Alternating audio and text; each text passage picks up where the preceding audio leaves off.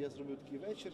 Анатолій Мельник показує картини, які він подав на виставку. На всіх зображений Івано-Франківськ. Це чотири акварелі та дві олійні роботи. Виставка присвячена місту 357-й річниці. Звичайно, я е, люблю місто, я його дуже над ним багато працюю. І в різній техніці, до речі, і в олійному, і в акварельному живопису, рисунок, графіка. Ольга Коритчук показує картину, де зображена катедра. Каже, ця робота Богдана Кузєва їй сподобалася найбільше. Дуже гарно.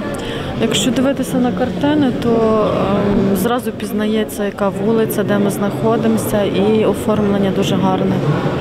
Є мотиви зимові, вечірні, Це перша виставка громадської організації Мистецьке братство в рідному Івано-Франківську. У музеї мистецтв Прикарпаття представили більше 60 картин, говорить організатор виставки Ігор Роп'яник. Тут представлені роботи 24 художників різних стилів, різних напрямків, як професійних, так і ті, які починають свій шлях у мистецтві. Виставка присвячена містові, тому всі картини власне на тематику міську.